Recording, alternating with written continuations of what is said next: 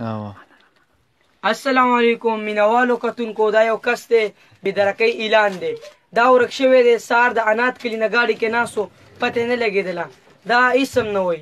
کله دا وای زما نوم ارشاد دی د پلار نوم مې عثمان دی دا د شنډۍ موړه دی لا ولې د ولزر دغه ځای مالته منګه وګرځو خو هلته هم څه پېژانګلو نه وه بیا یې ویل زه د پاټک یم پاټک کې هم پنجانګلو نه وه نه چا پېژانددو نو دا مینوالو تاسو ته زما ریکویسټ دی دا ویډیو بار بار شیر کړئ د ده کوی پلار ګوري د ده کوی ورور ګوري د ده کوی تره ګوري که د ده خپل خپلوان یې ګوري تاسو دا ویډیو ضرور ضرور شیر کړئ د ده خپلو بچو دپاره ستاسو هم په کورونو کې بچي شته ستاسو نه چې ورک شي تاسو ته څونه دړ محسوسیږي هغه دپاره تاسو شیر کړئ زموږ سره زویه ته د کوم ځای یو ها ته د کم ځای یې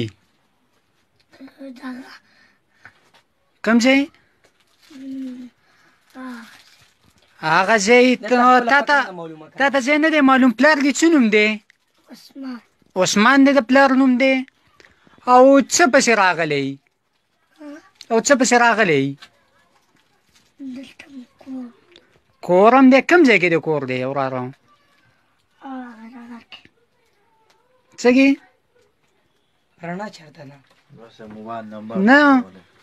دا زمونږ مینوالو د موبایل نمبر دی تاسو زمونږ سره په دې نمبر رابطه کولی شئ زیرو تین سو چتیس چه هزار چی زیرو تین سو چتیس چی هزار چی په پاجک کې زمونږ کور دی کو چا ته هم څه معلومات دي زمونږ سره په دې نمبر باندې رابطه کولی شي صحیح ده دا ویډیو تاسو ضرور شیر کړئ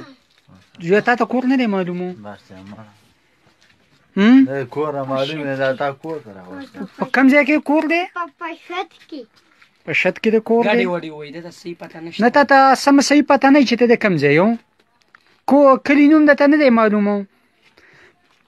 مینوالو زما سره دې نمبر باندې بیا رابطه هم شئ کولی زیرو تین سو چتیس چی هزار چی